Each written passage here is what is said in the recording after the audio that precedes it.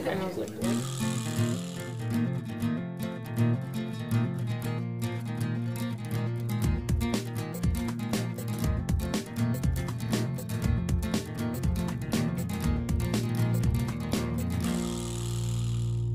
Well, hi, my name is Dave Hansen. I'm the executive director of Authors Alliance. Authors Alliance is a nonprofit whose mission is to advance the interests of authors who want to serve the public good by sharing their creations broadly.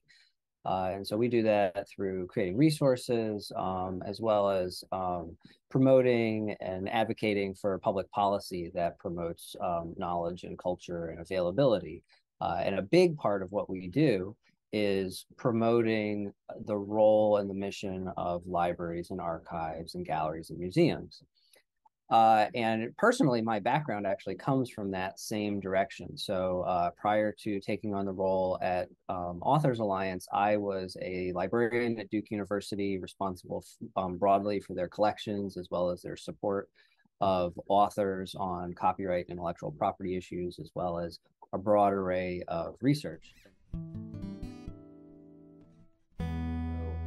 I, I have seen firsthand, both from the author side and from the researcher side, uh, and in fact, many times they're the same, one and the same person, um, the benefits of open uh, GLAM. Open access in particular is one of the features of Open GLAM that I have seen just have a tremendous impact in terms of the availability and, and public understanding of our culture and history.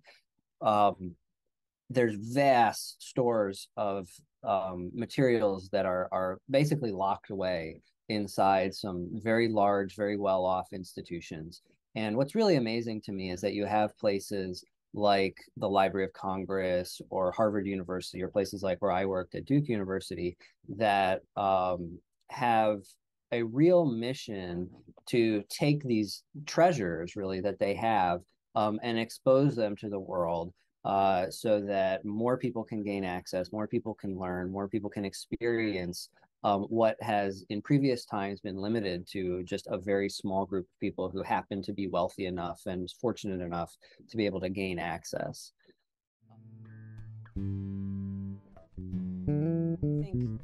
in terms of barriers and challenges that the open glam community faces um, there there are a number one is that the whole community is made up of organizations that are really nonprofit um, and and by that I mean really nonprofit. Like they don't have huge uh, sums of money to go spend on advocating for laws and policies that better reflect the needs and interests of the public. Um, and I've experienced this showing up at meetings with regulatory bodies and um, even you know with legislators where there's a handful of people representing the views of open glam and the public. And there's like an army of lawyers representing corporate intellectual property interests that have um, a significant interest in uh, expanding copyright making enforcement more aggressive and for for their own profit interests and i don't fault them for that but those things often um, bound up against uh, the interests of the public and uh, the interests of readers and users, as well as authors who care about the public gaining access to their works. So, you know, one of the things that really opened my eyes and uh, mind about glam um,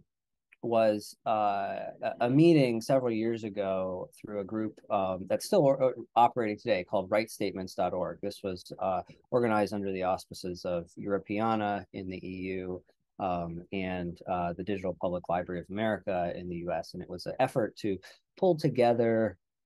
um, organizations that had an interest in clarifying and communicating better about the right status of materials in the collection so that users could know how to use them. And one of the things that really um,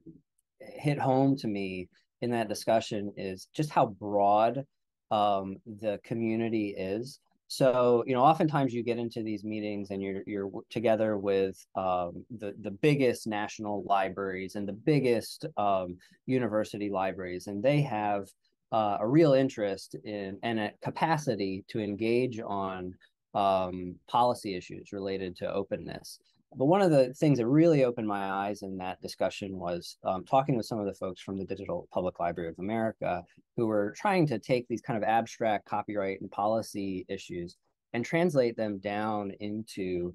um, you know, a local historical society uh, or a local gallery that maybe has two employees um, or, you know, an organization that's going around and scanning materials out of the back of a van uh, in a local community so that they can preserve these things and make them available to the world. And that really opened my mind to just how broad and incredibly diverse this uh, this community is and why it's so important that uh, we pursue openness, not just for those elite institutions or the institutions that can afford to have like a lot of lawyers figure out the rights issues, but for everybody so that we can really um, provide equitable access to, to these materials in their collections. So I guess, you know, one message I have for those organizations that might have some hesitation about opening up their collections uh, I guess I have two messages. One is having worked with a large number of institutions that are focused on these kinds of issues. Um, there's always a concern about risk, right? What if I open things that um, I'm not sure if I have rights to, or what about orphan works? That's a big issue of works that I know are protected, but I, I can't quite figure out how to um, nail down permission. Uh, the risks have proven to be incredibly low. Um, they're not zero, and you should take your time and be careful with what you're doing so that you can open up things uh, responsibly. But if you look across the world, really, um, the risks that those institutions have faced uh, by um, opening up their collections, I think, have been far, far outweighed by the benefits that they've seen by providing um, open access to their collections. And I always view that as, you know, you're you're trading one risk for another. Um, there's a risk by not opening up collections of um, really undermining your core mission as an organization and undermining your value uh, and, just your existence. Um, and so, on the one hand, it can feel very scary to know that there are these legal mechanisms out there that might pose a challenge at some point in some way, uh, even though those haven't really been realized for most institutions. But I think that other risk um, is very clear and present for many institutions that if we're not opening up our collections and providing broader access to the world um, in a world that's increasingly digital, uh, we we will scare ourselves into irrelevancy. Uh, and that is, I think, a kind of existential risk for for the whole community, and would be really, really sad for the future for researchers, for authors, for just the public who wants to engage with those collections, but they can't because the organizations that used to host them have disappeared. Uh, and so I think that's that's the big message that I have is that those risks um, are worth taking.